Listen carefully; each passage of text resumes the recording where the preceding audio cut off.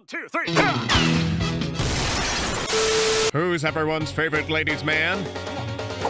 Well, it's definitely not Johnny Bravo, but hey, let's just pretend that he is. Johnny Bravo aired from 1997 to 2004 and was initially produced by Hanna-Barbera for its first three seasons, then by Cartoon Network for the fourth and final season. The show centers around the dense and self-centered Johnny Bravo, whose overwhelmingly narcissistic behavior repels the women that he tries so desperately to romance. I just want to be happy.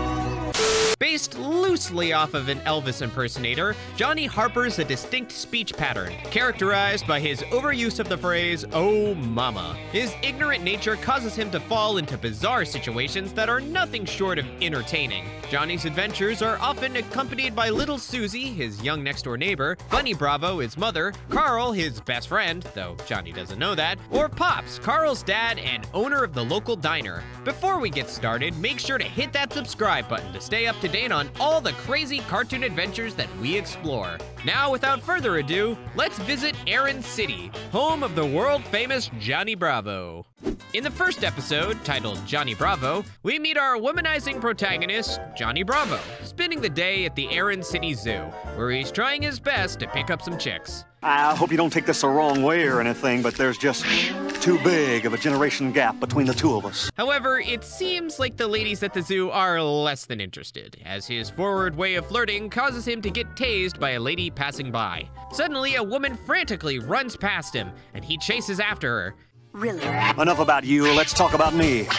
Johnny Bravo. He realizes that she works at the zoo, and she reveals that their prized gorilla has gone missing.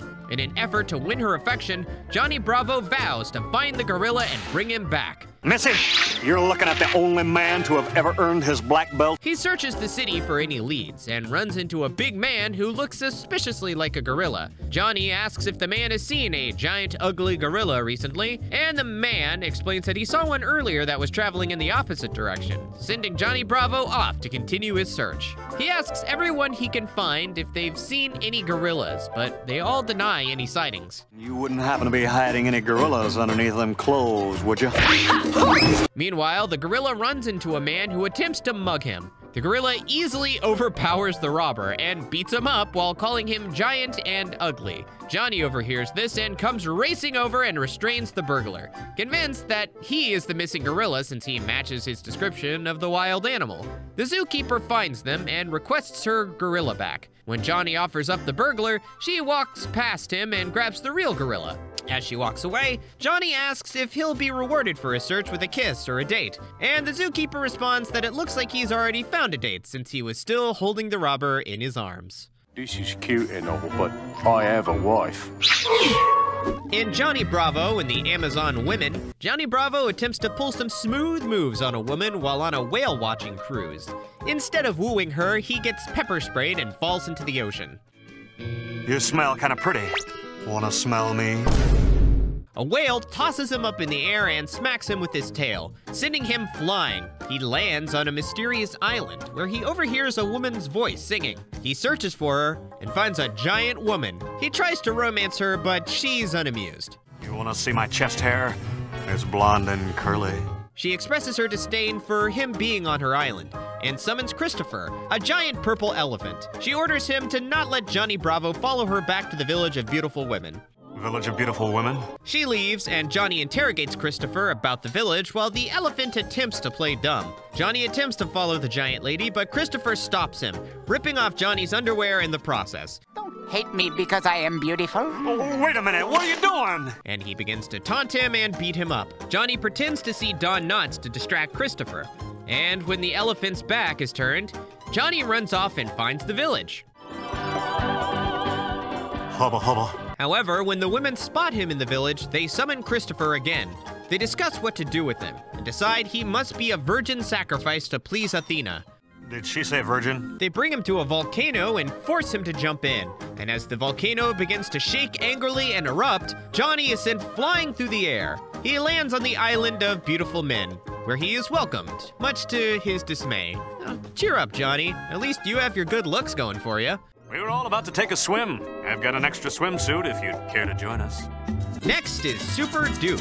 As Johnny passes by a school on his way to the grocery store, he runs into little Suzy, who invites him to come to her class and meet her teacher. After seeing the attractive teacher, Johnny happily accepts, and Suzy explains that he'll be her project for show and tell. Ladies and gentlemen, I give you the world's greatest superhero. When she presents him to the class, she lies and says he's a superhero named Bravo Man. When Johnny tries to explain the situation, the kids don't believe him, and the teacher mentions that she has a thing for superheroes, so naturally, he leans into it. Want to see me comb my hair really fast? Suddenly, the bank across the street gets robbed, and the class brings over Bravo Man to save the day. Upon hearing a superhero is there, all the cops leave everything up to Johnny. Hey, let's go get some donuts! This'll surely end well. Little Suzy does some investigating and finds out that Sweet Cheeks, a candy powered villain, is responsible for the robbery. I just love a man who stands up to supervillains. Stand back, everybody! As Sweet Cheeks comes running out of the bank, Johnny attempts to stop him, but the villain slams into him and continues running off. Despite his very obvious loss, the children still admire Bravo Man, gawking at his unconventional tactics for stopping villains. Suzy tells Johnny that he doesn't have to pretend to be a superhero anymore. When the teacher mentions how brave Johnny is, he assures Suzy he'll get her an A+. plus. I already got an A on my project. That was very brave. He continues pursuing Sweet Cheeks, but is always outmatched by the villain. But Bravo Man totally escaped. After Johnny is pushed into a manhole, Suzy tries to get Sweet Cheeks to back into it, giving Johnny the perfect opportunity to capture him. However, a rat crawls up Johnny's pants and bites him, and he shoots up through the air yelping in pain. He lands harshly on the ground, covering himself with mud. Afterwards, Sweet Cheeks takes little Suzy and threatens to turn her into a chocolate bunny. Not good. The kids run to Johnny to get him to help, but he's too focused on trying to get a hose to work to rinse himself off. The hose suddenly begins spraying a powerful stream of water, causing Johnny to lose control and begins spraying Sweet Cheeks. Are you okay? I sure am, thanks to Bravo Man. Upon getting wet, the villain begins to melt, and Johnny saves the day. In all of his glory, Johnny returns to the teacher and tries to sweep her off of her feet. She states that she already has a boyfriend, but Johnny coyly replies that he bets that he's no Bravo man. Suddenly, a superhero named Pretty Boy lands in front of them, takes the teacher in his arms, and flies away. I guess she really did have a thing for superheroes. Use your heat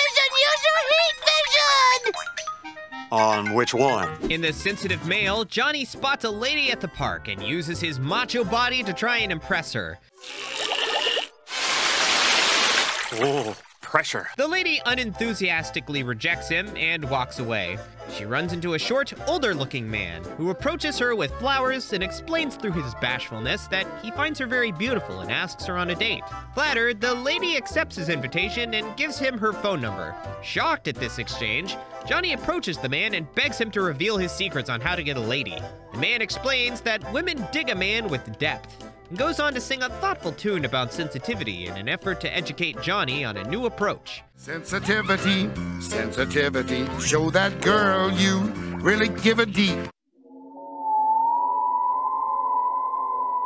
The man decides to take Johnny under his wing to teach him more lessons on romance. But look here, Johnny. Hey, fool. How'd you know my name? Hey, that doesn't matter. All that matters is. They find a woman on the street with a dog and a stroller. The man preps Johnny for conversation, explaining that being observant can help him approach the lady, and advises him to begin the interaction by acknowledging her dog. All I had to do was notice she had a dog. Observation. Johnny confidently begins his attempt of winning the lady over, but he accidentally knocks the stroller away, and the dog begins flying down the street. He runs after it, but fails to grab it before it flies off a bridge. Luckily, Johnny's mentor was standing on the rocks below and managed to catch the pooch. They return the dog to the woman, who expresses her sincere thanks to the man and gives him a kiss. Later at a restaurant, Johnny spots another beautiful lady and explains his plan to flex his pecs at her to win her over. The man explains that women appreciate men who are in touch with their feminine side and aren't too masculine. So Johnny approaches the lady while wearing a frilly dress and lipstick. However, instead of getting the girl, she laughs in his face and walks away. And he instead attracts two sailors who are enamored by his beauty. Take that, sailor boys. Man, I can't wait till next shore leave. At a fountain, Johnny yet again finds a woman that catches his eye. The man asks Johnny what he's planning to do, and Johnny informs him that he's going to ask the hot mama to go back to his place to play Twister. How sophisticated. Thankfully, the man teaches Johnny that women don't want to be degraded with names like Hot Mama, but respected. The man assures Johnny that manners will take him far, and sends him on his way to try out his new respectful flirting. Pardon me, hot, sexy mama. Johnny unsuccessfully attempts his new approach, and the woman uses the fountain to wish for a herd of buffalo to trample him. Later that night, Johnny gives up and informs the man that his sweet and sensitive techniques will not work on him.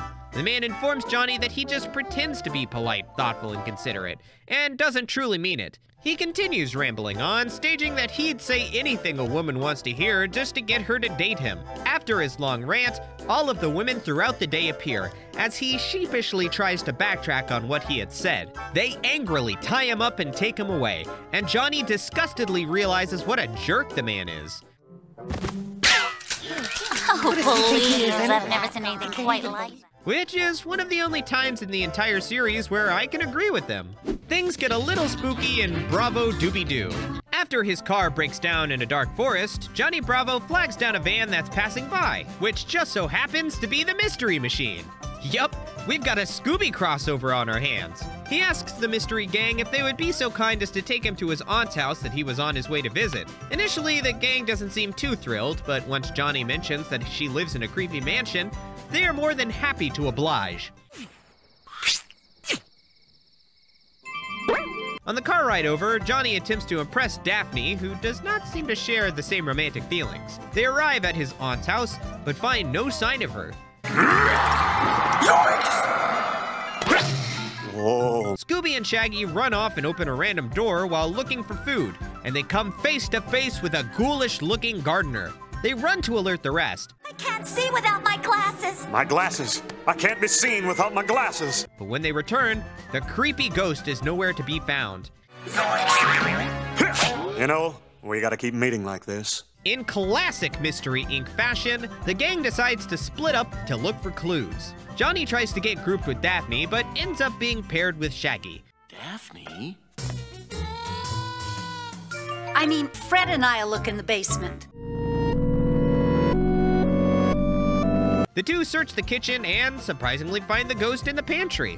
They try to run and hide, but the ghost is too clever and easily finds them. This, of course, results in the iconic chase and hide montage seen in every Scooby Doo episode.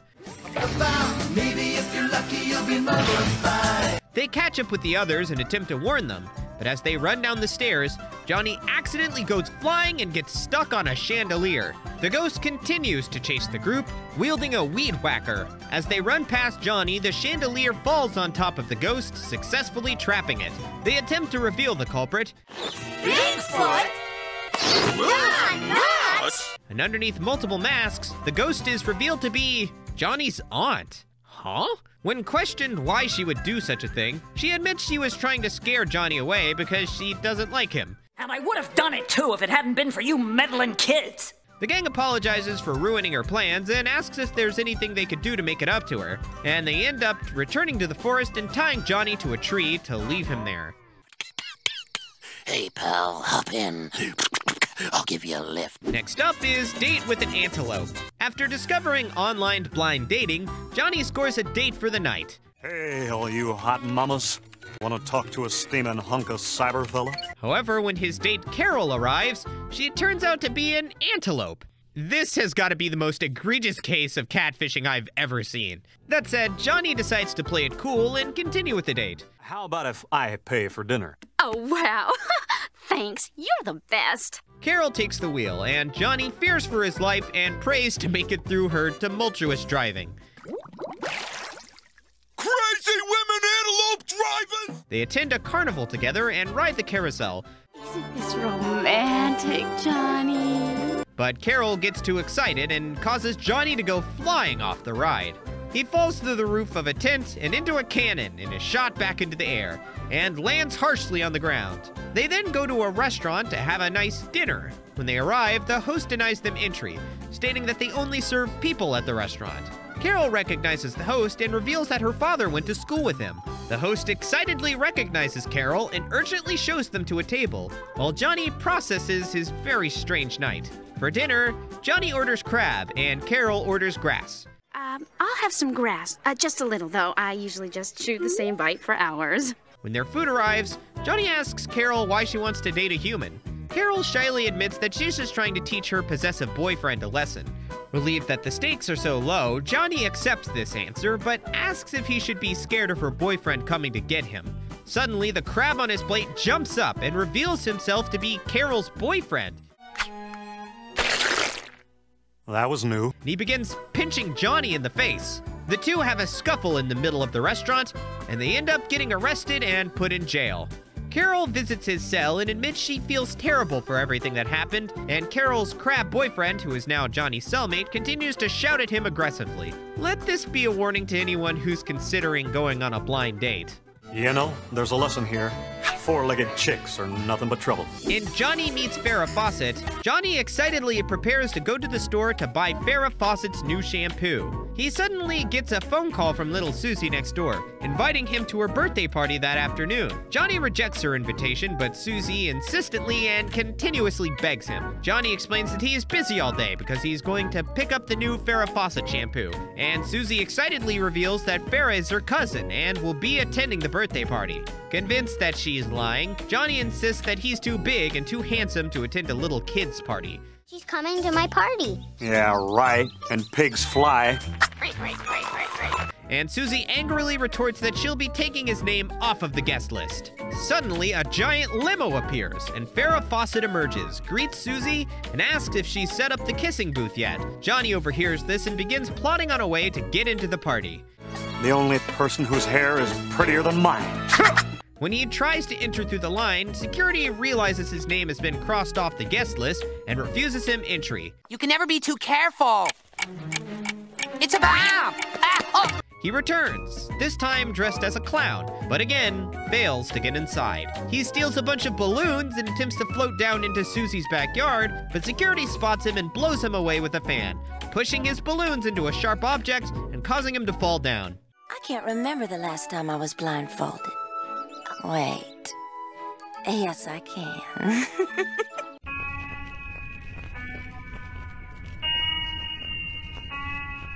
He looks up to find a man dressed as a giant purple dinosaur named Smarmy and proceeds to beat him up and take his costume. As he approaches, the security guard begins to gush over Smarmy and bashfully admits how big of a fan he is. Johnny tramples over him and makes it into the party. One for you, and one for you. Where he's surrounded by a horde of children. Farrah Fawcett goes to give Smarmy a big kiss, and Johnny fervently tries to get the costume off to no avail. Farrah kisses him and he faints. Farrah thanks Suzy for having her over for the party, and Suzy apologizes for Johnny's absence. Farrah replies that she'll just have to find another date for the night. She leaves, and all of the children celebrate the rest of the party by bouncing on top of Johnny's body. Next is a wolf in chick's clothing. After scanning the personal ads in the newspaper, Johnny scores a date. Must love full moons and dogs. Call me. My name is Fluffy. When he arrives, he is approached by a beautiful woman, and he's over the moon. Just when things seem too good to be true, she transforms into a wolf right in front of him. Johnny's initial fright subsides when he learns that his attractive date will change back to normal once the sun rises. So he decides to bite the bullet and continue with his date. Yeah, I'll bet there's a beautiful little sweetie pants underneath all that hair. Johnny and the woman attempt to have a normal outing, but her abnormal appearance catches people's attention and causes chaos wherever they go. It's almost time, Johnny. Oh, liking that. Somehow, Johnny manages to make it through the night and eagerly awaits for the sunrise. Give me an S. Give me an unrise. Hello, sunrise. His patience pays off, and his date transforms back into the beautiful lady from the night before. Is this what you want?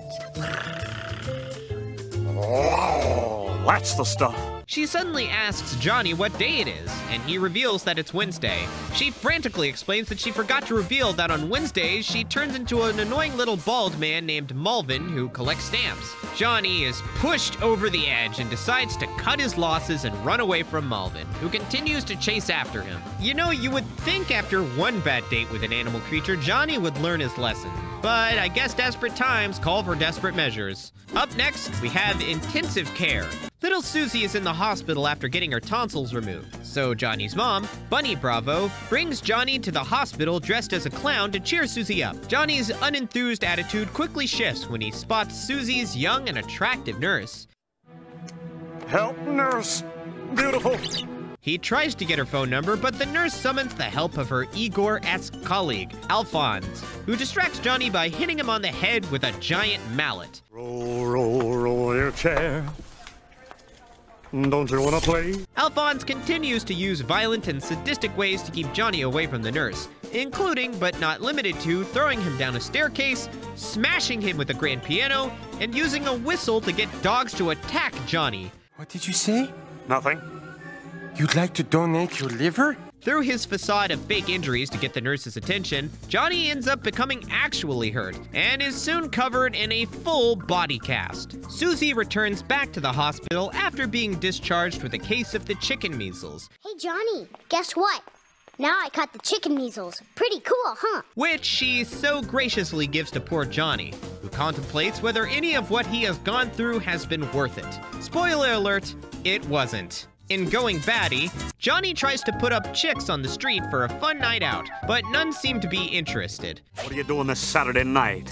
It is Saturday, you pinhead. Meanwhile, a vampire couple stand in the park and begin to argue. The woman admits that she's bored with their routine and expresses unhappiness in their relationship. She spots Johnny standing alone on the street and breaks up with her boyfriend so she can pursue Johnny instead. When she approaches him, Johnny obviously has no objections to taking her out on a date. I am Lois, a mistress of the night. And I am Johnny Bravo, a mister of the universe. They go to a restaurant and Johnny orders them both pasta. After he inhales his meal, the woman asks if she can kiss Johnny's neck, but she runs away screaming after she smells the garlic on his breath. Her vampire ex boyfriend hides in the shadows of the restaurant, determined to use his powers to sabotage their date, and uses magic to get the plate of pasta on the table to strangle Johnny, who fervently attempts to break free. The woman returns to find Johnny laying on the ground, but even after that near death experience, they decide to continue their date elsewhere.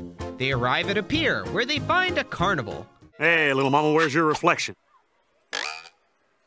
Wow, look at that mirror. Johnny tries to use his muscles to play a strength game to win his date a prize, but her ex boyfriend yet again uses his powers to prevent Johnny from winning. After numerous attempts, he gives up, and the woman expresses her disappointment in not getting a prize. After they leave, the ex boyfriend plays the game and easily secures a prize. Yeah, thanks, buddy. Keep the change. Excellent. A quarter. I can now retire. Johnny and the woman get drinks together, and she reveals that she is a vampire. She also admits that the only reason she's on a date with Johnny is because she wanted to make her boyfriend jealous, but disheartedly states that it doesn't seem to work. Suddenly, her boyfriend appears and begins to serenade her in front of everyone. He tearfully begs for her back and presents the prize that he won for her. She reconciles with him. But hey, the best vampire won, right? Johnny questions if they're worried the people around them will freak out because they're vampires, and they reveal that everyone in the restaurant are actually vampires, plus a few werewolves and a gnome here and there. They all celebrate the eventful night with a conga line, which Johnny seems surprisingly okay with. I mean, hey, who could turn down a conga line? Next is Red Face in the White House. While touring the White House, Johnny accidentally ticks off every woman in his tour group with a misogynistic comment has to run for his life as an angry mob chases after him. Not a woman here could vote no matter what age, but the 19th Amendment struck down that restrictive rule. Why'd they go and do that? Meanwhile, the president's daughter angrily objects against her father and the robot boyfriend he had built for her. Um, I'm not gonna ask. She angrily states that she wants to date a real boy, but her father assures her that the only way for her to be safe is for her to date robots. She kicks them out of her room and begins to sob, which Johnny overhears from his hiding place. He runs into her room. Hey, pretty mama.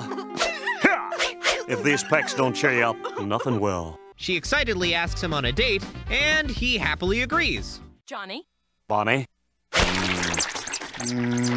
They manage to sneak out of the White House, but the Secret Service realizes this and notifies the president, who tasks them with keeping an eye on her and making sure she gets home safely.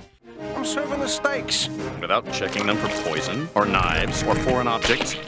As their date progresses, the president's daughter realizes that Johnny is no match for her intelligence, and she quickly loses interest. Please tell me you know something about the Tomb of the Unknown Soldier? Well, if they don't know who he is, why don't they just open up the tomb and take a look? She summons the Secret Service guards, who did a poor job of hiding their presence, who quickly take care of Johnny. Four forms of jujitsu and two forms of reggae impressionism. Yeah, well, Secret Service. She returns home to her father, who reprimands her for going behind his back. She apologizes, but admits that she would rather date robots if that's how real boys behave. The agents reveal that they have taken care of the situation, and we see Johnny stuffed in a box with other robot boyfriend prototypes somewhere deep beneath the White House's grounds. Somehow, the president's daughter being forced to have a robot boyfriend seems like the least bizarre thing that's happened in the White House. Kicking off season two is Bikini Space Planet. What a title. Johnny arrives at a diner to partake in his favorite pastime harassing women. I mean, picking up chicks. Hey, baby. Anybody ever tell you I have beautiful eyes? While in his element, he is observed by two beautiful alien ladies who then approach him and manage to lure him away to their spaceship, where they all fly off to somewhere in the galaxy. Let me think about it. Okay, I thought about it. Well, let's motor.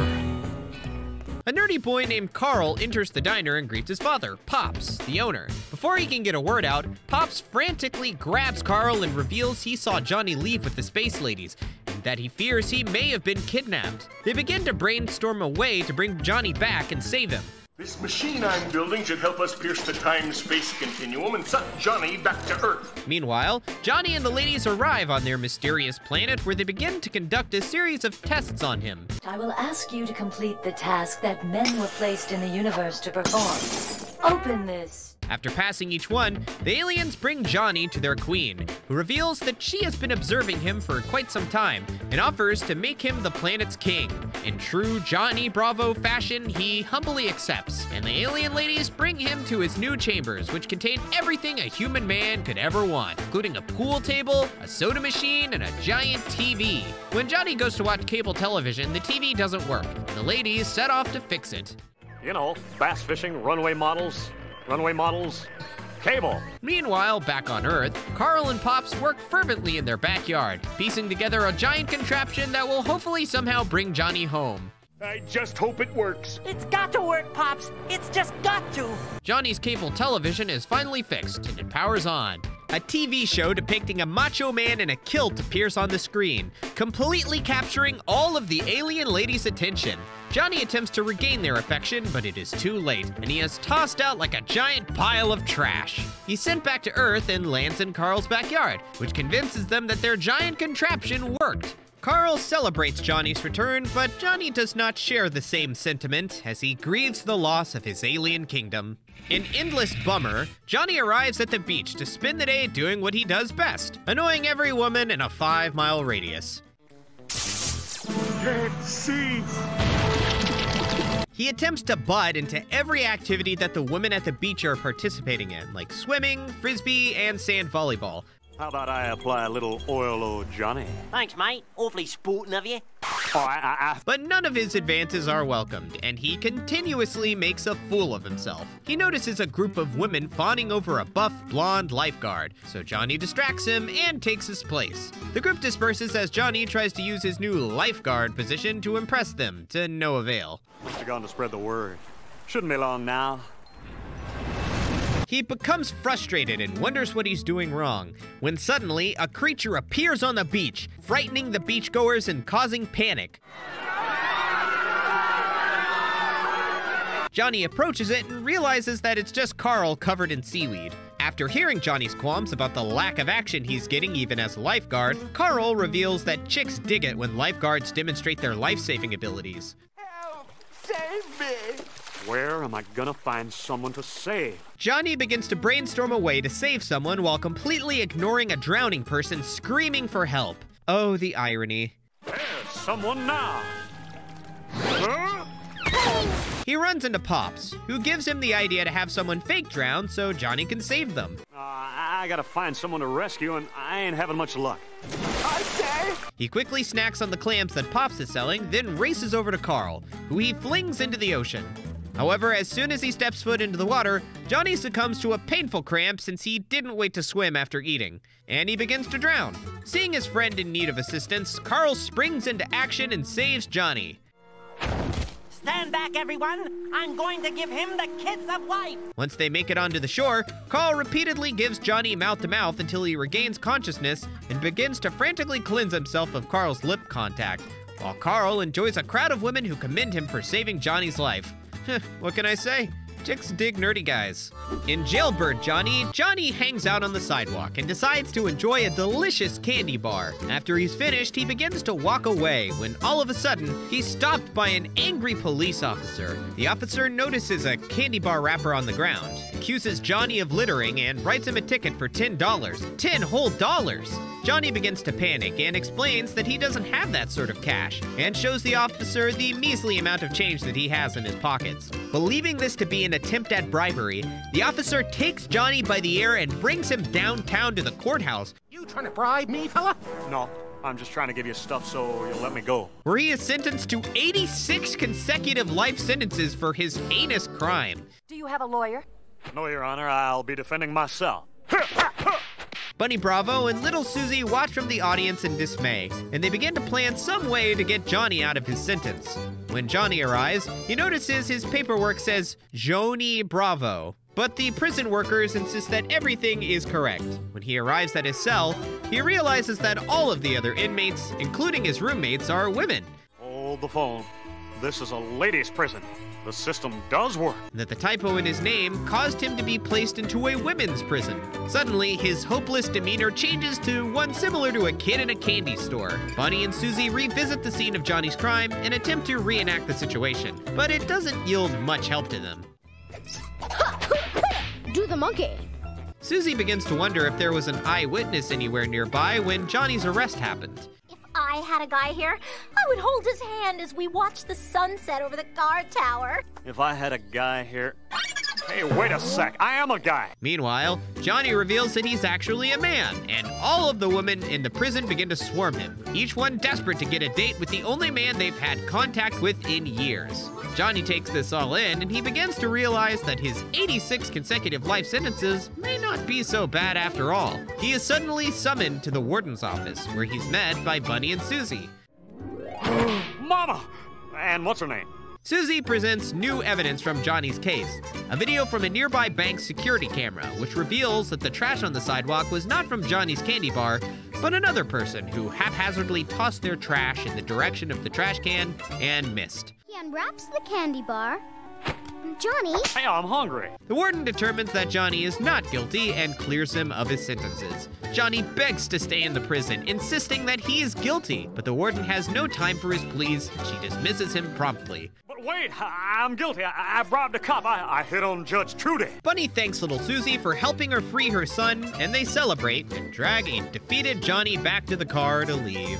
You know, if the punishment for littering was 86 consecutive life sentences, I bet we would have a much cleaner planet. Hmm, just something to think about. Next is Ape is Enough. Pops and Carl prepare to depart on their annual recipe hunt to the South Seas. Pops invites Johnny to tag along and help with the grueling manual labor, and Johnny promptly declines. If you go on that recipe hunt every year, how come all you serve is burgers and chili? When Pops mentions the possibility of running into gorgeous Navy chicks, Johnny quickly changes his mind and decides to join them. As they sail the turbulent sea, Johnny accidentally crashes the boat and sends them all flying onto Skull Island. Their initial arrival on the island is uneventful, and Pops begins to question the island's reputation for being dangerous. Suddenly, a tribe of masked people surround them and kidnap Johnny. Ah, Oh, who are you trying to scare with them cheesy masks? Carl frantically insists on rescuing him, while Pop sees this as an inconvenience to his scheduled recipe tastings. They pursue the tribe and find Johnny tied to poles and surrounded by fire. Well, I guess I could stay a little longer. All of a sudden, a giant female ape comes bounding through the tribe's ritual and steals Johnny. Carl tries to stop the ape, but she quickly overpowers him and devours him in a single bite. Drat. Now we're really getting off schedule. She takes Johnny to her cave. Pops has no other option but to follow. When they arrive at her humble abode, the ape begins to hula dance for Johnny in hopes of seducing him. The ape spots Pops sneaking in and grabs him. Just as she's about to eat him, a giant two-headed rabbit enters the cave and begins attacking the ape, creating ample time for Pops and Johnny to escape. Pops notices the ape's flirtatious nature with Johnny and suggests that instead of escaping alone, they take the ape back with them to Aron City as an attraction, and offers to split the profits 95-5 with Johnny, who excitedly agrees. You can make over $50. I'm in. Carl returns and admits he'd rather not explain how he escaped the ape. Fair enough. With everyone accounted for, they return home. They display the ape proudly, and news reporters, models, and celebrities all flock to see the exotic attraction. It's the ape boyfriend. Shut up. We're just good friends. Yeah, right. Johnny excitedly poses next to a group of models, and the ape becomes enraged. She breaks free from her chains and grabs Johnny, who fervently issues apologies, promising her that she's the only woman that matters to him. Johnny's mother sees this unfold on TV, and she hurriedly arrives on the scene to save her son. I'll save you from that giant ape hussy right after I finish my rep. She swoops down in a jet plane, projecting a slideshow of all her vacation pictures, which begins to lull the ape to sleep, successfully saving Johnny from her wrath. No, Mama! Not your vacation slides from Tampa! In Welcome Back, Bravo, Johnny receives a letter in the mail informing him that he never actually passed the fourth grade, and consequently missed out on his learning social skills, which might explain why he acts the way he does. To unseal envelope, peel back flap, and. Give me that, Johnny! Bunny Bravo insists he return back to school, refusing to accept her son as a fourth grade dropout. Little Suzy excitedly reveals that Johnny and her will be in the same class, much to Johnny's dismay. The following day, Johnny is put on the bus and shipped off to school with Suzy. He enters his new classroom and immediately tries to romance the young and beautiful teacher. Good morning, class. Whoa! Learning is its own reward. Who insists she does not date her students. Suzy is assigned to monitor Johnny's progress with his social skills. Good luck with that. I object! Withdrawn. Later that day during lunch, Johnny's crude behavior causes a food fight to break out, resulting in a failing grade for cafeteria conduct. Can I have cutsies? No. Look, Leonardo DiCaprio. Where? When they return to class, Johnny does a puppet show presentation to insult the entire class, which, again, results in a failing grade and respect for others. This is my diorama of the St. Valentine's Day Massacre. Boring! The class takes a field trip to the Museum of Extremely Dangerous Things, where Suzy informs Johnny he must score an A triple plus in team supportiveness to pass the fourth grade, or else he'll have to start all the way over. What happens to children who sit too close to widescreen TV? Now, follow me to the Hall of Nasty Paper Cuts. While exploring the museum, Johnny accidentally sets off a bomb, causing panic. Right as it's about to explode, Johnny trips and falls on top of it, effectively shielding the rest of the class from the blast. The only thing there is to do. Get out of my way! Johnny first, then all the women and children. Because of his heroic efforts, he is granted a passing grade and successfully graduates the fourth grade. I award you, Johnny Bravo, with your fourth grade diploma. My standards for Johnny are pretty low, so you know what? I see this as an accomplishment. Next up is the man with the golden gut. While watching TV, Johnny sees an ad for the Abdominizer 900, a machine made to sculpt a person's body into god-like form. It'll give you abs harder than the densest neutron star. Transfixed by the ad, Johnny hurriedly places his order. When the machine arrives, Johnny sets off to build it and manages to create a machine that resembles a medieval torture device instead. Yes, these are extras. He gets to work on getting the abs of his dreams and decides to hit the beach after a long day of exercise, if That's even what you can call it. When he arrives, he's swarmed by hordes of people who gawk at him openly. Johnny embraces the new attention to him and his sculpted abs, but as Pops passes by, he catches sight of Johnny and quickly shoos the crowd away. Johnny begins to protest, but Pops reveals that Johnny has an exact replica of Mount Rushmore embossed on his stomach, likely from the rope burn from the Abdominizer 900. Getting huge. Whoa, I'm feeling the burn. Like the good businessman he is, Pops immediately begins to brainstorm how he can make a profit from Johnny's bodily abnormality, and soon they both decide to pursue the financial endeavor further. What's in it for me? You can watch me make a fortune off this. Ah, I'm in. Pops presents Johnny as a freak of nature as giant crowds gather to catch a glimpse of his patriotic stomach. Johnny's baby blanket's $25. Johnny, of course, thrives with his newfound attention and fame, and just after the first week, they see an insane amount of profit. Johnny indulges in his fortune and continuously eats junk food to celebrate.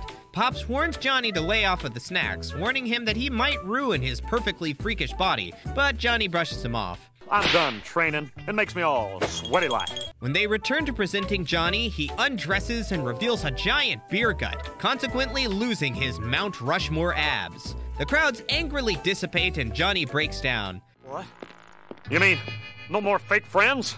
No more screaming girls? Pops informs him that if he wants the fame and fortune back, he must get back into shape. And Johnny eagerly agrees and gets to work. After some hardcore exercising, Johnny manages to shed some pounds and returns back to his original weight. We are awaiting the return of Rushmo the Magnificent and his eerily accentuated abdominal muscles. Him and Pops return back to the stage with a bigger crowd than ever, promising the comeback of the century. However, when Johnny reveals his stomach to the crowd, it's just a tangled blob of mush that neither resembles abs nor Mount Rushmore. And Pops finally breaks down, accepting the permanent loss of their fame and fortune. What a weird episode. Next is Buffoon Lagoon. While at the beach, Johnny spots a beautiful woman wakeboarding on the water. Excuse me, can I borrow this?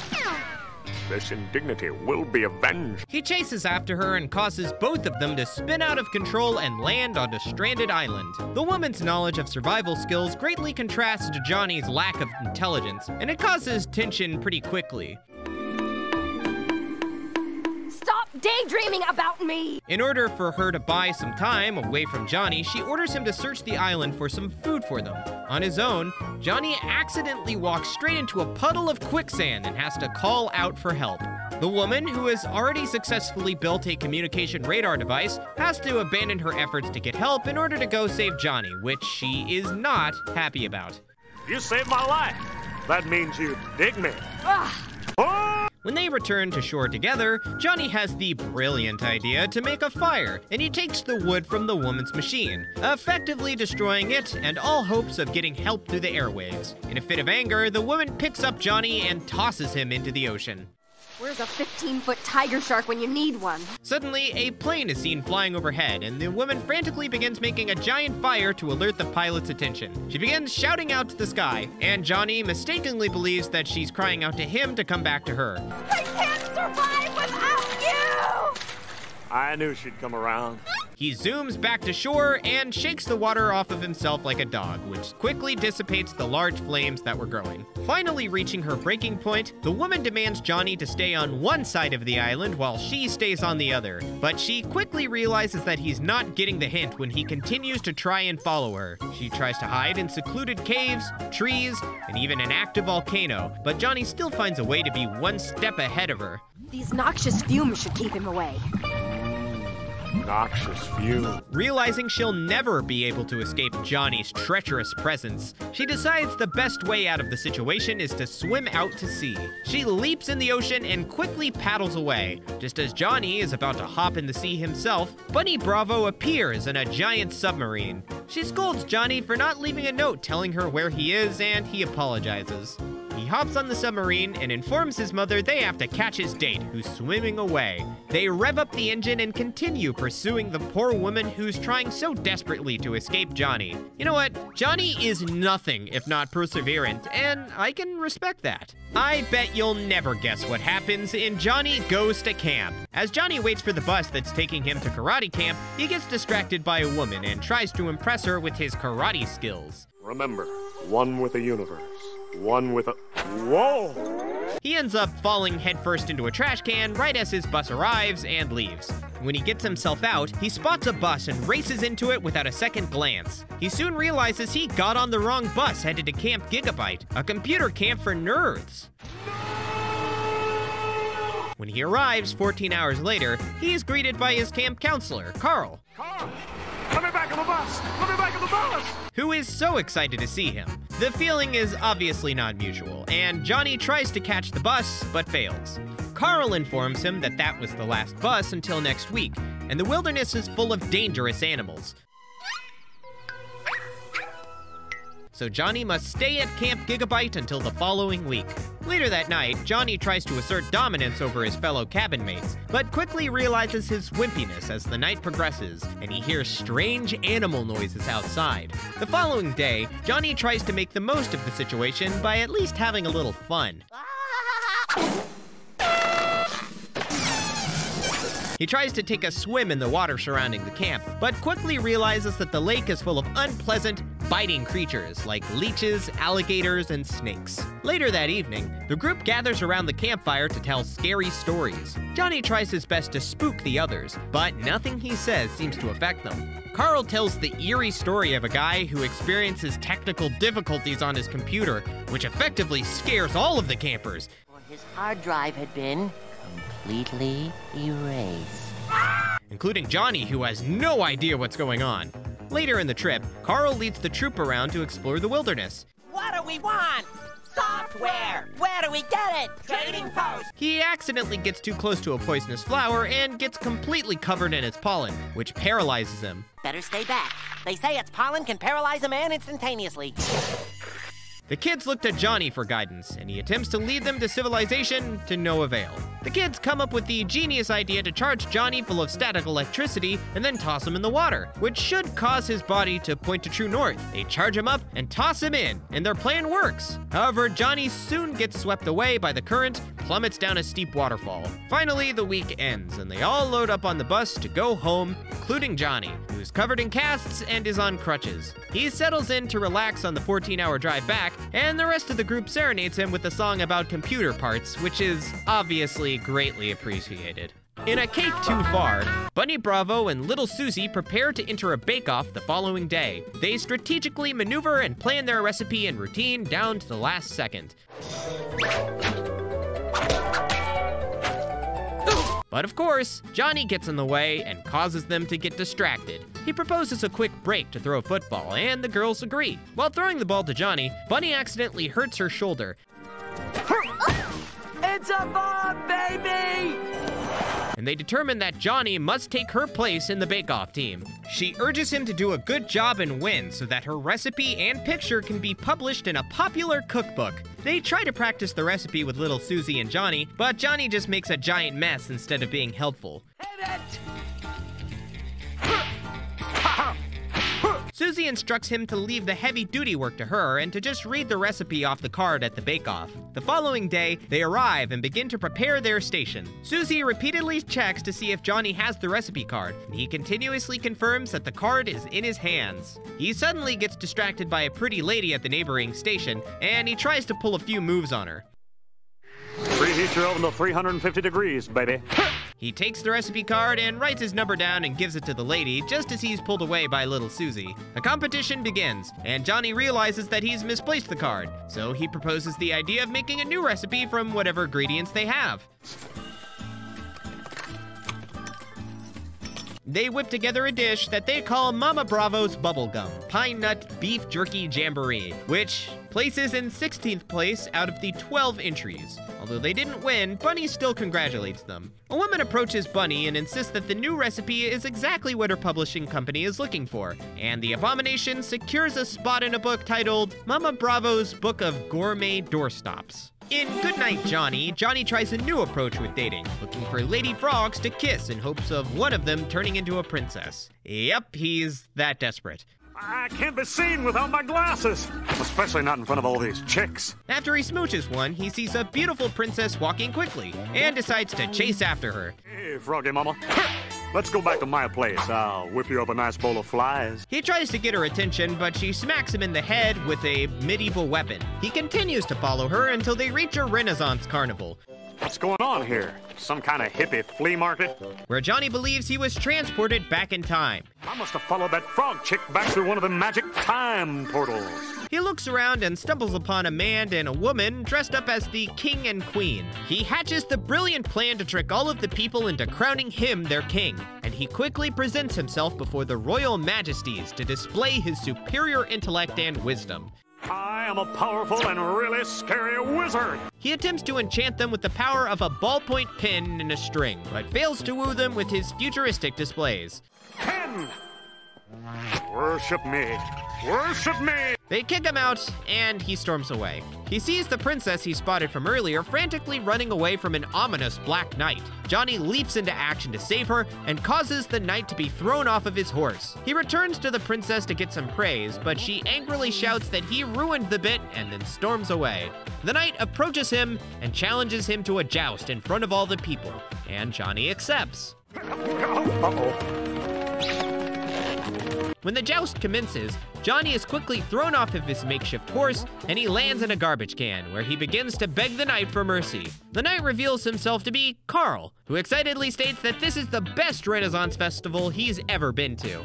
Johnny realizes he's not actually in the Middle Ages and begins to insult everyone there, calling them losers and jobless. Middle Ages? Ha! You're funny.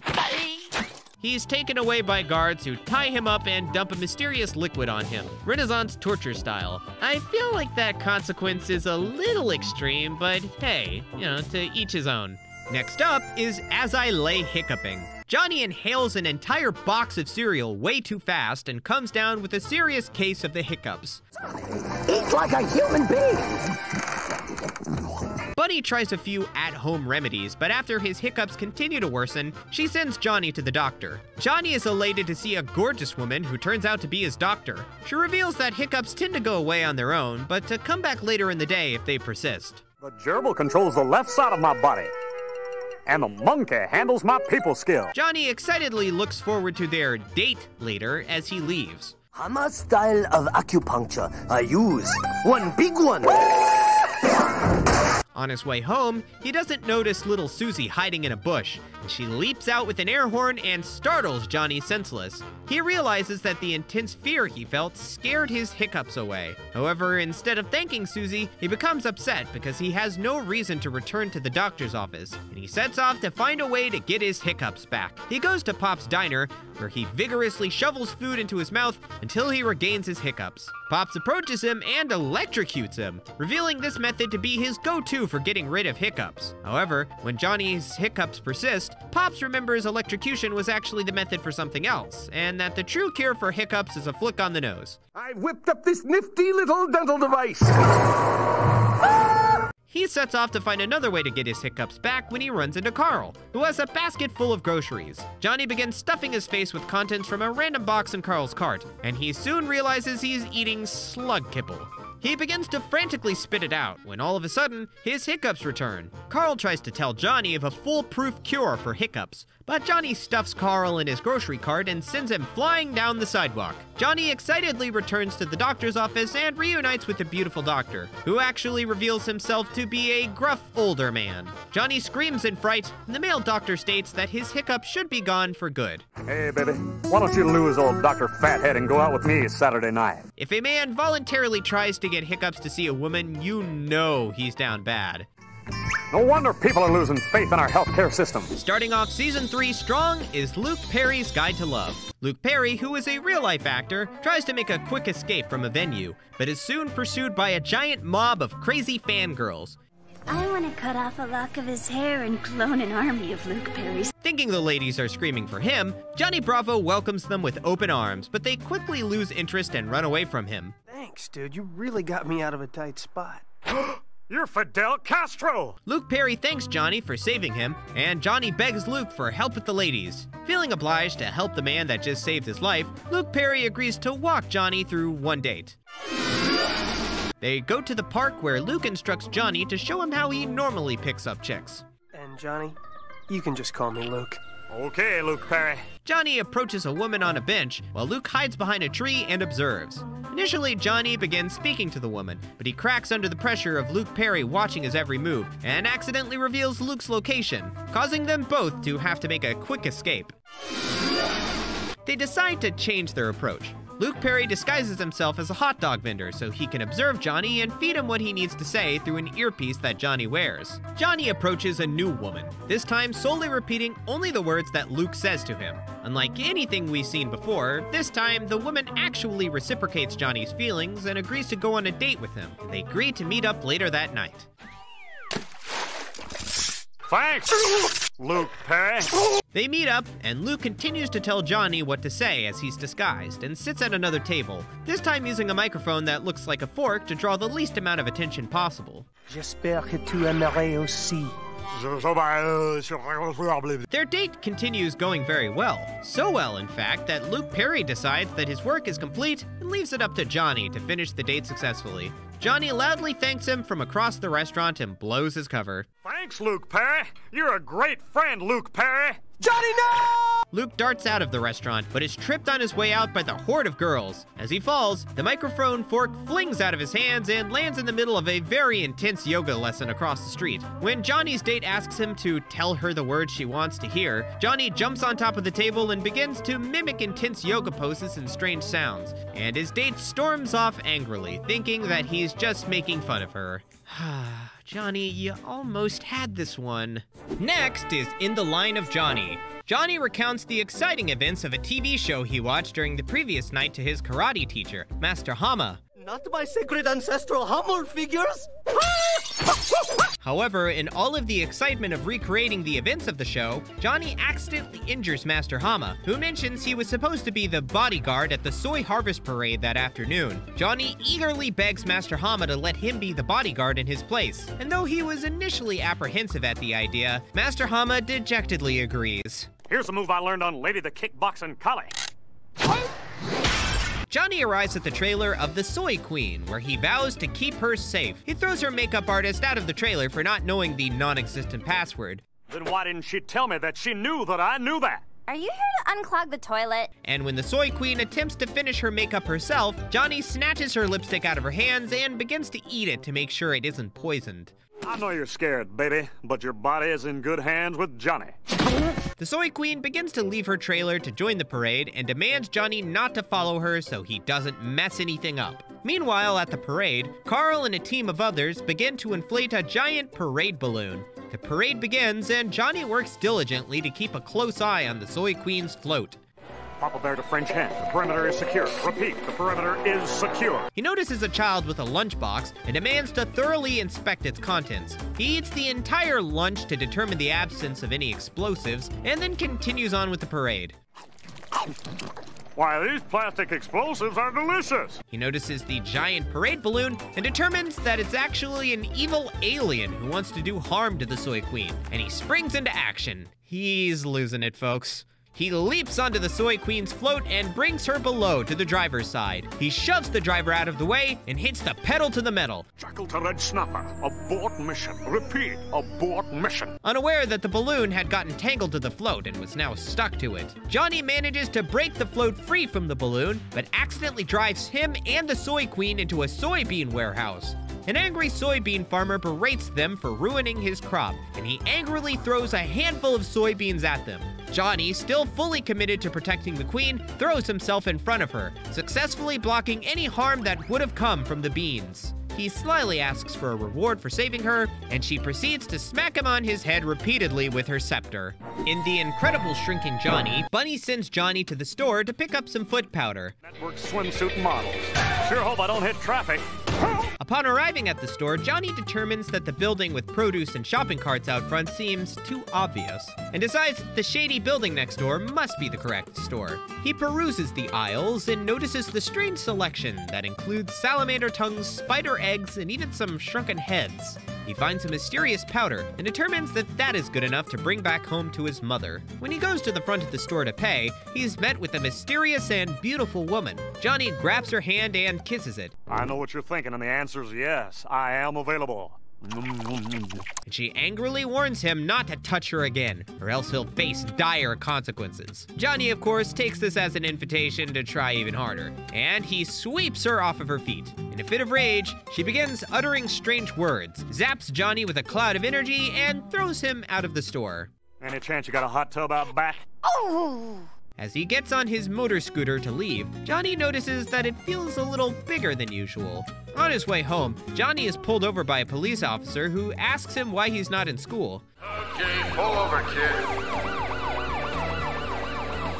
Johnny realizes that he's shrinking, and soon he's so tiny that he's able to sneak past the police officer without any repercussions. No, I ain't going! Help! Help! Anybody other than the police? He runs to find help and ends up bumping into little Suzy. Instead of helping him return back to his normal size, Suzy takes him home and forces him to be one of her dolls. When Johnny tries to fight one of her stuffed animals, Suzy puts him in timeout, where he tries to escape to find help. Yeah, well, they're creeping me out with their dead eyes. Like a like a doll's eyes. He flings himself out of the window and lands across the street in Carl's room. Good thing the window's open.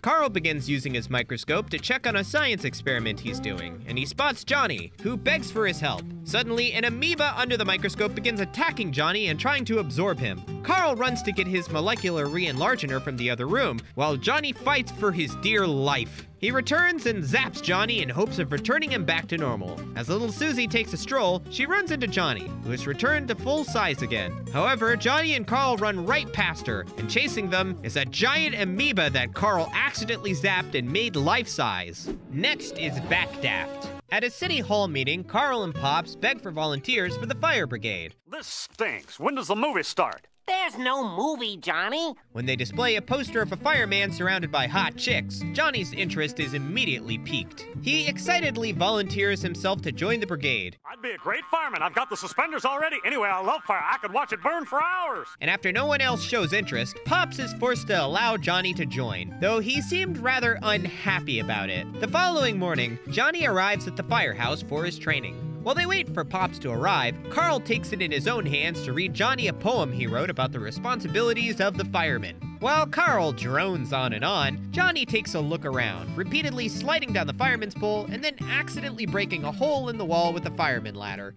He did it!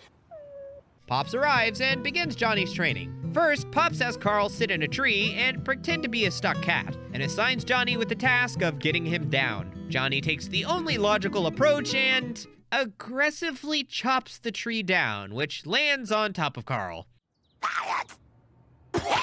Pops, I'm frightened. I know, son. They decide to move on to the next part of training, where Carl stands in a fake burning building. Johnny is given the fire hose and instructed to successfully put out the fire within an allotted time frame. Johnny hands the hose to Carl briefly, and when the water starts to surge out, Carl is whipped around by the powerful hose. Pops decides it's time for a lunch break, so he and Johnny return to the firehouse. They eat expensive food and watch midday television, and Pops informs him that eating and drinking on the public's tab is the most important part of the job.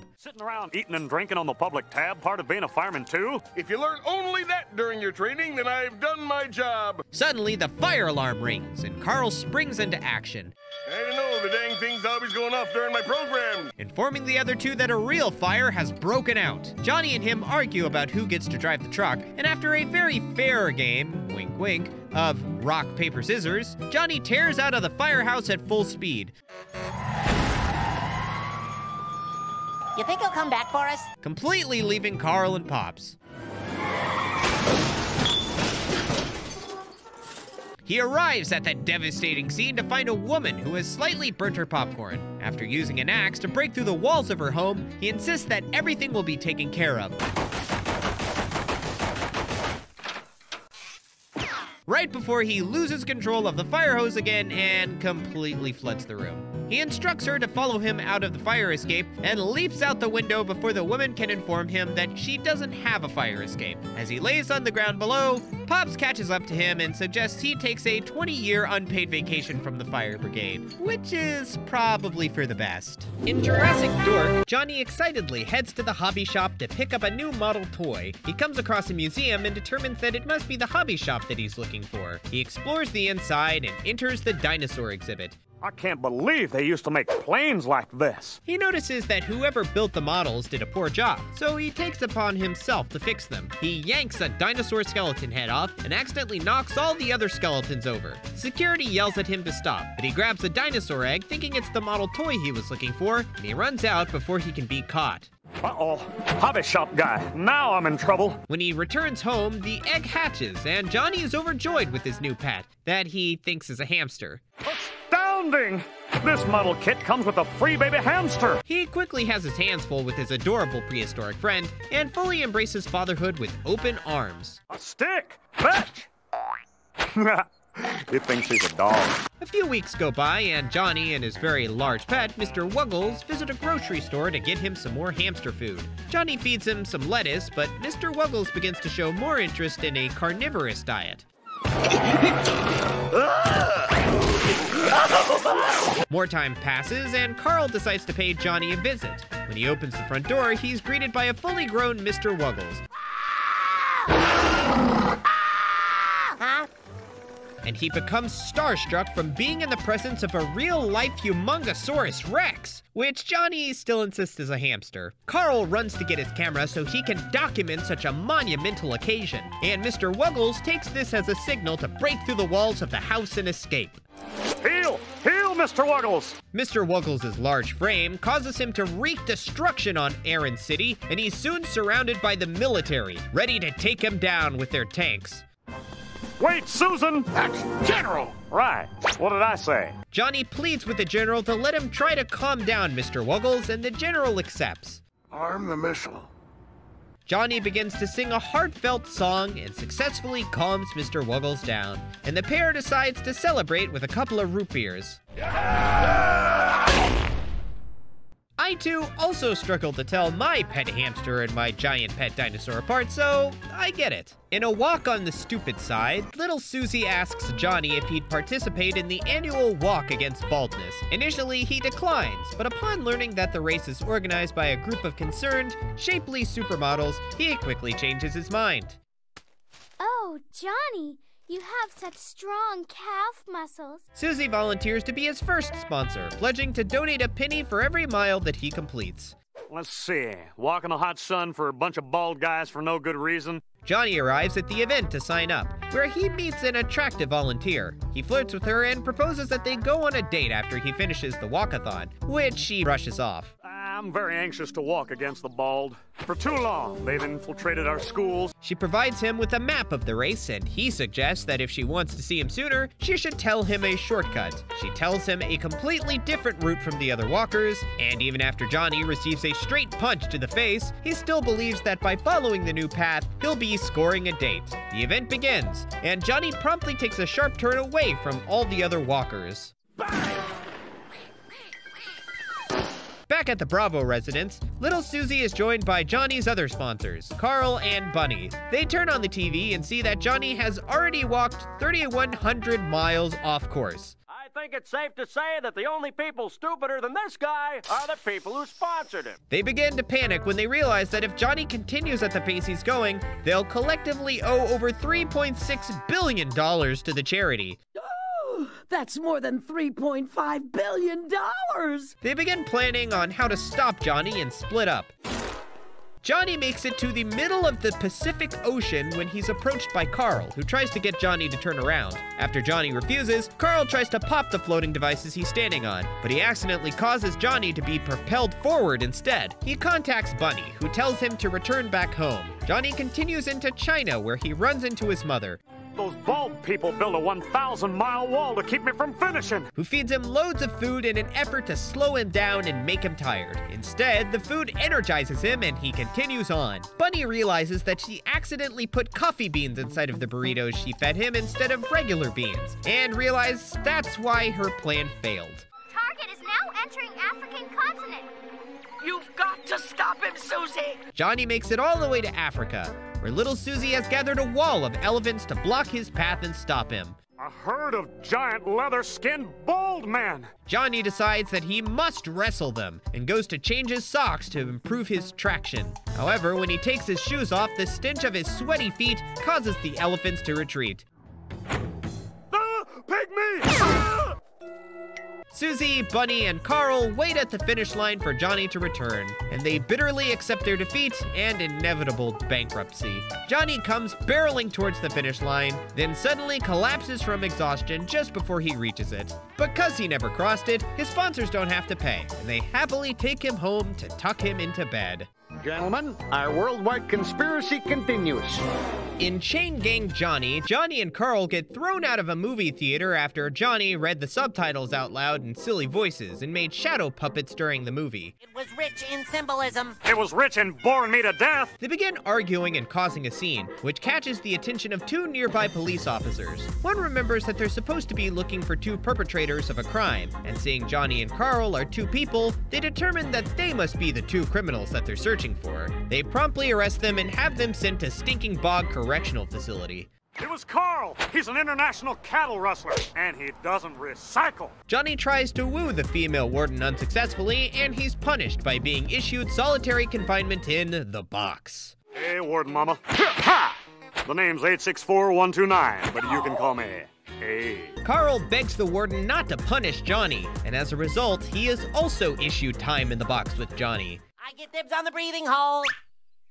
Not the box! Sweet merciful! The two are kept in the box for 17 days straight. When the warden goes to get them, she opens the box to find a horde of party guests leaving, and Carl explaining all of the tasteful renovations that he and Johnny did while they were inside. Seeing them thrive during their punishment angers the warden, so she assigns them to break down rocks, glue them back together, and then destroy them again. That's it! I can't take it anymore! Johnny begins to hit his breaking point, but Carl reveals his master plan for their escape. Later that night, Johnny and Carl, dressed as a loving couple, thank the warden for watching after the convicts and announce their departure.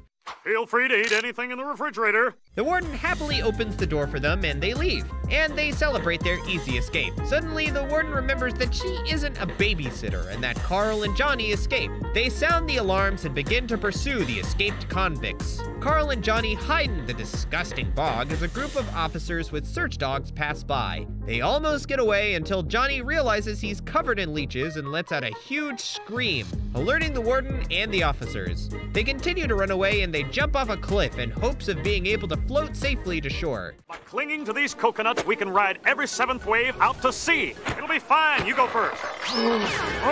They wash up on a beach and are spotted by the same officers that arrested them previously, who take them back to the correctional facility. Here is a failure! No! No! No! Next is Auteur Auteur, French title, How Classy. After a mistake with the mail, Johnny accidentally receives a $7 million grant for an art film. Mama! Mama! The $7 million grant check for my art film arrived! He decides that even though he isn't a director nor has any directing experience, he will use the money to make a film like it was intended to be used. Johnny brings along Carl and Pops to help his movie dreams come to life. Your experience as a fry cook should make you an excellent choice for cinematographer. He holds auditions for the leading lady, but every woman who tries out is so repulsed by Johnny and his advances, he's left with no one to play the part. Now quick, kiss me. Kiss me hard. What? I don't see that in the script. Suddenly, a famous Italian movie star arrives to audition for the role. Instead of being put off by Johnny's behavior, she explains that most brilliant directors are pigs, so Johnny must be amazing, and she agrees to be a part of the movie. Mamma mia, that's a spicy meatball. Right before they begin filming, Johnny fires all of the crew because one of them asked a question. So, are there any questions? You're fired! He announces that he will now be both the director and the entirety of the crew. They begin filming a scene where a group of astronauts go into space, and they accidentally send the actors into outer space with a real rocket. Action! Like a true businessman, Johnny doesn't let this setback get to him, and he decides that he will also be playing all of the other roles as well to compensate for their severe lack of actors. Camera! When Johnny ruins one of the giant inflatable props, the Italian actress realizes that he's actually a giant moron and she quits on the spot. Determined as ever, Johnny continues working on the film all by himself. Later, he admires his masterpiece alone on a giant projector screen, satisfied with his life's work. Don't you just hate when your government grants of $7 million gets lost in the mail? I swear it happens to me like twice a week. It's ridiculous. In a reject runs through it, Johnny visits Pop's diner, Congratulate me. My cholesterol level is up to 405. where he learns of Pop's new business venture of selling live bait to fishermen. When he notices how many chicks the fishermen seem to get, he decides he too wants to become a renowned fisherman. Hey, baby. I once kept a goldfish in my mouth for an entire month. Pops proposes that they all fly to Alaska so that Johnny can catch the last living sassy mouth salmon, and they agree. On the flight there, Carl begins to annoy Johnny and they get into a fight, which causes Pops to crash the plane. Pull up, Pop! Pull up! Luckily, no one is injured, and Johnny sets off to track down the famous sassy mouth salmon. When he casts his reel, he accidentally hooks his own pants and causes himself to fall into the water. A fish appears and begins to make fun of him. Due to his sassy demeanor, Johnny determines that this fish is none other than the sassy mouth salmon that he's hunting for. The salmon taunts Johnny and swims away. After I catch you and eat you, I am going to wash your mouth out like soap. Johnny decides to change his approach by using a fancier lure to entice the salmon. Hey! Honest Abe! When he casts his line again, the salmon catches it and hooks it onto an underwater bomb from World War II. He tells Johnny to reel in his line, assuring him that he successfully hooked him. Johnny excitedly brings his line in and sets off the bomb, which explodes in his face. The salmon laughs at him and swims away, but this time, Johnny angrily follows, determined to catch the fish that continuously makes a mockery of him.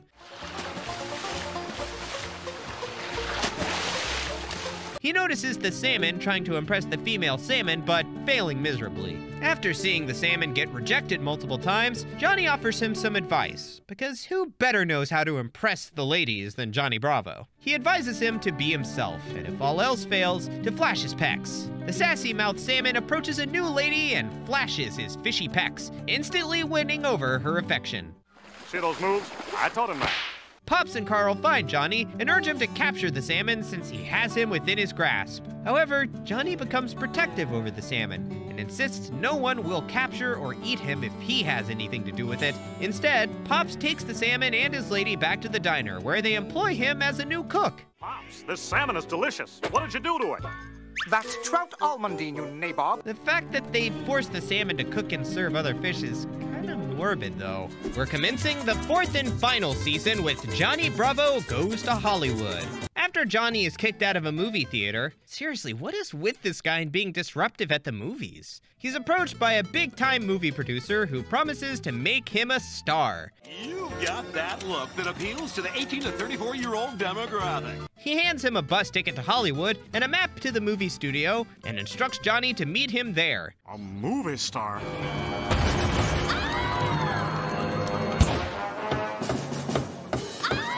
The locals of Aron City gather to throw Johnny a going away party, which may or may not actually be a celebration of him leaving the town. Goodbye, Mama. He hops on the bus and heads towards his future of fame and fortune. When he arrives at the studio, he's greeted by famous celebs Jessica Biel, Alec Baldwin, and a random hobbit who sing him a welcome song. I'm really looking to play against type as the wacky neighbor. As he prepares to head to set for first day of filming, he's informed by a studio worker that he's been replaced by a CGI version of Mark Hamill. First things first. You're fired! What? Devastated by this news, Johnny determines that he must find the producer who scouted him and have him remedy the situation. Johnny ventures all over the studio, causing trouble and crashing sets, causing him to be chased by a mob of security guards. He finally manages to find the producer, who tells him that he's yesterday's news. Kid, you're gonna be the next big star. After Johnny gets caught and thrown out of the studio, he decides to make it big on his own by auditioning for talent agencies. Next! Oh, that would be me. Unfortunately, he soon finds out that in order to be a part of a talent agency, you have to have talent.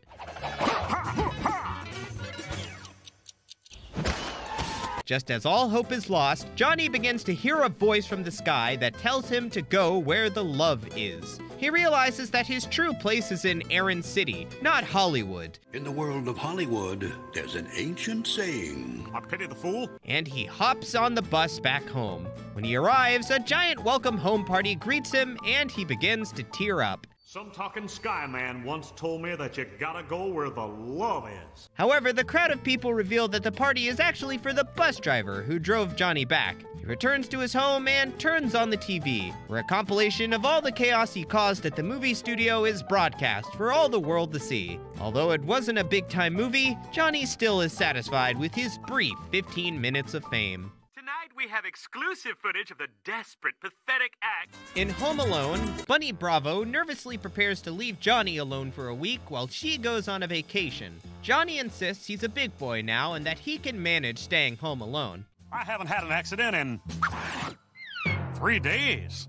After he sees his mom off, he tries to go back inside the house, but realizes he's locked himself out. If you forget how to breathe, it's inhale, then exhale. So he crawls through the chimney to get back inside. Little Suzy enters his house and reveals that Bunny had left her a key so she could check on Johnny from time to time. Johnny insists that he doesn't need any help and shoos her out of the house.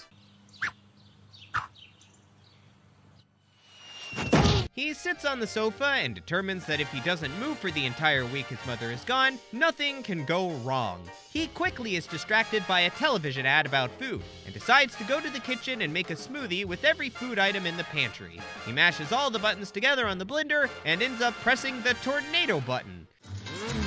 Johnny Bravo 1, Mr. Blenderman 0. Which creates a giant food whirlwind in the kitchen. Little Suzy flies by in the food storm and offers her help, but Johnny stubbornly rejects it and she floats away. Johnny's mother calls him and he insists that everything is going just fine. The following day, Johnny plants himself back on the couch, even more determined to not move until his mother returns. Nothing will go wrong after. No! Oh! Suddenly, a wrecking ball smashes through the side of his house. A frazzled construction worker apologizes for hitting the wrong house and leaves quickly. Another man approaches Johnny and prompts him to sign a delivery paper. When Johnny asks what the delivery is, a giant truck shows up and dumps a sea of mud into his house. A pig walking through the neighborhood notices this and begins bathing in the mud happily. Suzy shows up with a bucket and a mop, but again, Johnny refuses her help and decides to clean it up all by himself. He goes to fill the bucket up with water, but is distracted by an incoming call. You've reached the Bravos, home of the one and only Johnny Bravo. He answers the phone and goes back and forth with the other caller, who realizes he's called the wrong number. The house becomes flooded with water since Johnny had left the faucet on when he went to fill up the bucket. Something smells fishy. You got that right. Suzy paddles over on a boat and yet again offers to help Johnny, who refuses again. He opens up a window to drain the house and ends up being swept away along with the water. Later that night, as he's watching the news, Johnny learns of a criminal mastermind on the loose who's stealing people's clothes. Until he's wearing your pants. My pants? Your pants, Johnny! And frantically boards up his closet and hampers. No one's taking the Bravo family duds tonight.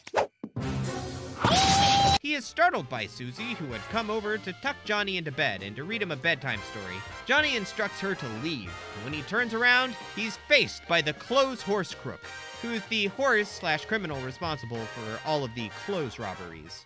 Technically, I'm a pony, but let's keep that between you and me. The horse tries to steal Bunny's clothes, but Johnny gives him his clothes in exchange for the return of his mother's garments. Now that's one swanky looking stallion. The next few days, the Bravo household continues to fall more and more into disarray. On the sixth day, an insurance salesman knocks on Johnny's door and tries to sell him fairy tale insurance, which Johnny rejects. I got a fairy tale for you. Once upon a time. Get lost! After sending the salesman away, there is another knock at the door, and when Johnny answers it, he's met face to face with a beautiful little Red Riding Hood. I thought I told you to get. Who tricks her way into his house and invites a giant horde of fairy tale creatures, who trash his house even more. Johnny gets a call from his mother, who informs him that she'll be returning home from vacation a day early. He begins to panic and finally accepts the help of little Suzy. I need some. Who calls in a repair team, the three little pigs, and puts the rest of the fairy tale creatures to work cleaning the house. By the time Bunny arrives back home, house is in tip top shape, and she congratulates Johnny on being responsible enough to be left home alone. And the walls are even more delicious. He almost gets away with everything. Until she goes into the bathroom and finds an alligator in the toilet. Yeah, I know that struggle. Those doctor visits are awkward to explain. Next is T is for trouble. When Johnny hears a knock at the door, he's surprised to see Mr. T. Does that T stand for taco? You crazy? Mr. T explains he is there in response to a letter that Johnny sent him when he was in elementary school regarding a kid named Little Ricky Simmons. Johnny has a flashback to his childhood days where he remembers being bullied by Little Ricky Simmons, who would push him over so he would land flat on his back, earning him the nickname Johnny Flat on Your Backo. Ah, very clever. Little Ricky Simmons, the school bully, bullies me. Mr. T apologizes for his late response, but promises to amend it by teaching Johnny how to stand up to his bully. Little Suzy enters and greets Mr. T, prompting Johnny to ask if they know each other. They reveal that Mr. T had taught Suzy how to stand up to bullies as well. She demonstrates her intimidating skills. What you guys said? They try to help Johnny come up with a menacing catchphrase like, I pity the fool. Like, it's tea time, sucker! But Johnny just ends up making a bunch of weird, concerning sounds. Mr. T decides to move on and try a different approach. Johnny is presented with a toucan and instructed to tackle the tough toucan to symbolize tackling his fear. Instead of regaining power over his past, Johnny proceeds to get his butt whooped by a tropical bird. They move on with his training, where Mr. T proceeds to teach Johnny how to make a healthy snack alternative with celery, peanut butter, and raisins. Crazy fool! Never underestimate the power of healthy snack making. After their snack break, Johnny continues his training with an inspiring and motivational workout montage. Finally, Mr. T decides Johnny is ready to approach his bully. He instructs Johnny to put on a little Bo Peep dress to assert his dominance. Then why aren't you wearing one? You think I'll be caught in something like that? Johnny arrives at little Ricky Simmons' house, where he knocks on the door. When Ricky answers the door, Johnny begins making his incoherent noises at him while dressed in his girly costume. Ricky invites Johnny inside his home, where he apologizes for his behavior from when they were kids. I'm sorry. Really? He reaches out his hand, and when Johnny goes to shake it, Ricky flips him on the back again and begins taunting him. Ricky threatens him with a wet willy, and Johnny sees a vision of Mr. T, who instructs him to make a healthy snack alternative. Flat on your back, oh. Not good. Oh. Johnny runs into the kitchen where he constructs the celery masterpiece he had learned previously. When Ricky tries to leap onto Johnny, he is quickly subdued when the snack is shoved into his mouth. The healthy and delicious treat causes him to call a genuine truce, and he and Johnny absolve their past conflict. If only I had Mr. T to walk me through all of my life's conflicts, maybe things wouldn't be too bad. Next up is the time of my life. While little Suzy and Bunny go through Johnny's old yearbook, they find a yearbook photo of a girl named Sandy Baker with hearts drawn all around it. When Suzy asks about her, Johnny reveals that she was the prettiest, most popular girl in school, and how he admired her from afar. Got straight A's. And once she even taught a group of orphans how to ski. He has a flashback where he recalls his past scrawny self, who used to get bullied by the big muscular guys in school, and how Sandy stood up for Johnny one time when she saw him getting picked on.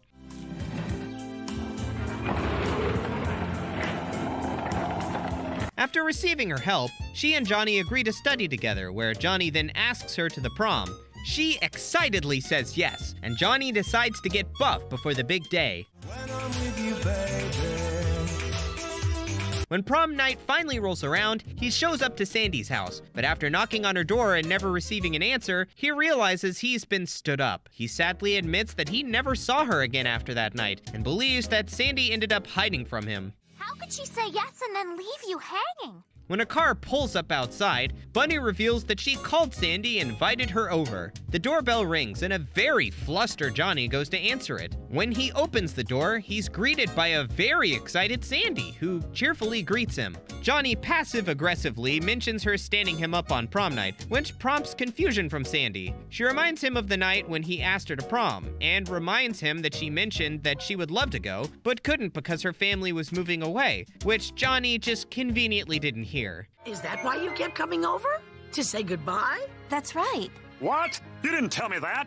I didn't? She apologizes for the miscommunication and asks if there's anything she can do to make it up to him. Johnny proposes a date, but Sandy states that she's already married and reveals her seven children who are waiting in the car. He realizes that since he dislikes children, maybe it was for the best that they didn't end up together. Can you imagine having seven kids just like me running around the house? In Wilderness Protection Program, Johnny is approached by a cow businesswoman from the Wilderness Protection Program and is assigned a domestic partner who is in hiding from the mob.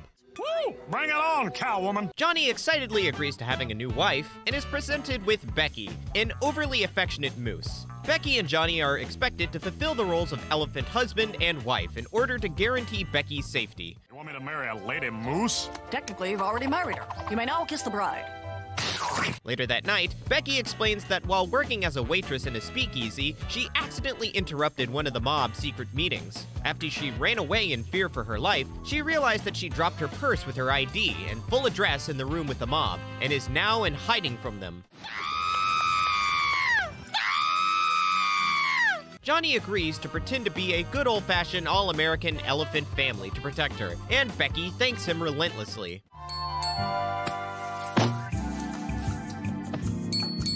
However, as time passes by, Johnny's flirtatious manner with other ahem, human women proves to be a bit of a challenge in their partnership. You like fish sticks? I guess. So do I. I- It's like we're soulmates. Meanwhile, the mob boss instructs his underlings to find Becky, and they use her license to track down her address. After they are unable to find her, they realize that she must have gone undercover, and the mob boss demands they find her and give her what she deserves. Not now, baby cakes. I'm watching my stories. All right. While talking to Becky, Johnny notices a puzzle piece stuck to her fur. She begins to panic as she realizes that the piece must have accidentally gotten stuck in her fur as she was trying to escape the speakeasy. They determine that the puzzle piece is actually the missing piece to the secret mob plan that Becky overheard. The puzzle piece is green, and green people always want something from you. They brainstorm for hours until they determine that the mob has a secret plan to steal all of the honey from the bears in the forest. You know what we have to do now, right? Take off this fake beard. They rush into the forest and awaken all of the hibernating bears, where they frantically try to inform them of the mob's plan. The bears, unhappy from being woken up from their long winter's nap, don't listen to them, and instead decide to attack Johnny. Suddenly, the mob boss's underlings appear, and Becky begins to panic. Oh, please!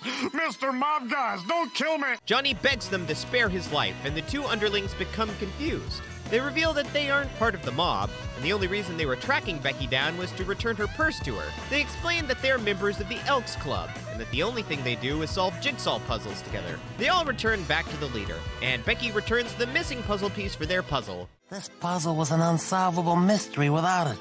I've spent countless sleepless nights trying to figure it out. Okay, I've got to say it again. What is with this dude and getting set up with animal girlfriends? I mean, seriously, he attracts some wackos. Either that or the staff is into some very particular stuff. Finally, in Back on Shaq, Shaq, yeah, the real Shaquille O'Neal, continuously misses basket after basket and is stuck in a bad luck streak while playing an intense basketball game. Meanwhile, Johnny tries to make a move on the cheerleaders on the sidelines, where he annoys them so much that one tries to shove him out of the way. Johnny goes flying and collides with Shaq right as he shoots another basket. Miraculously, this one finally makes it into the hoop, and the crowd goes wild. Shaq picks Johnny up and shoots again and again, making the basket each time.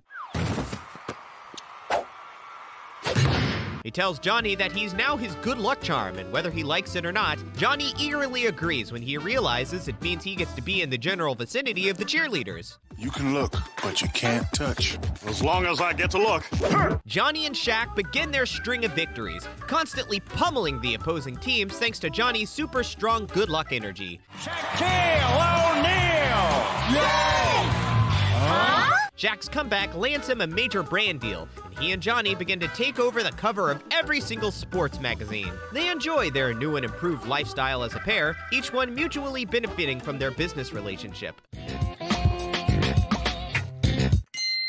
While in his winning streak, Shaq agrees to rematch Seth Green, who obliterated him the last time they played basketball together. Who outscored? Outplayed! Will you just announce the fool? Seth tries to intimidate Shaq, but Shaq eagerly reveals Johnny as his secret weapon. Seth cheekily displays his very own good luck charm he brought along, Huckleberry Hound. We can take them. Remember, Shaq, Eye of the Tiger. The game begins, and Seth and Shaq continue to be neck and neck, each scoring frequently due to their good luck charms.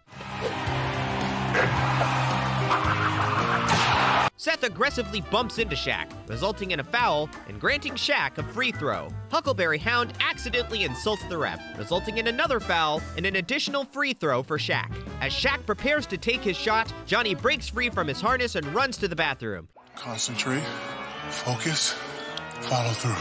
Oh, Rick! He quickly returns, but is barred from entering the court while Shaq completes his throw. Miraculously, Shaq makes both throws and wins the game. Wait! You're not supposed to be good without me! Realizing he's capable of making baskets without Johnny, Shaq ditches him and leaves with his group to celebrate his victory. So maybe we'll see you around? Yeah?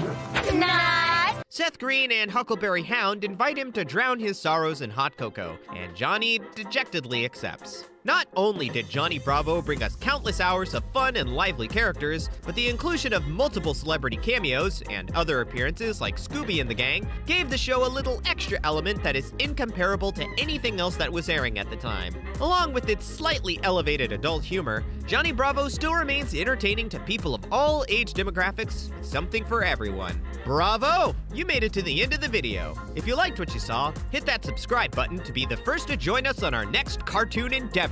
I hope you enjoyed reminiscing on this show as much as I did, and we'll see you next time. Bye!